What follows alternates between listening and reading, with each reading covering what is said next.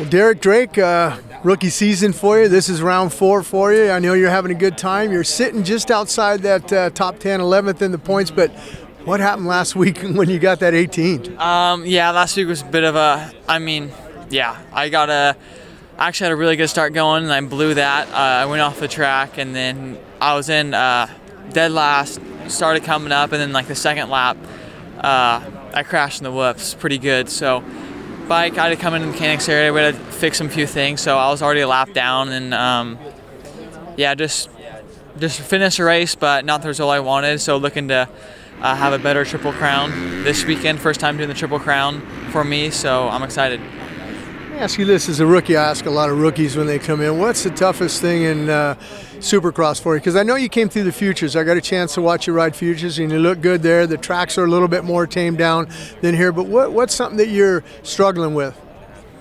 Um, really, the toughest thing I would say would be, uh, I mean, time qual- time qualifying is really important for the gate pick for. Uh, for the heats, and you really have to set yourself up good through the whole day. You have to be out front, time qualifying, so you get a good gate pick for the heat. So you have a good heat race, and then a good heat race leads to a, a good main event. So really, the whole day has got to be you've got to be on par and um, ready to go.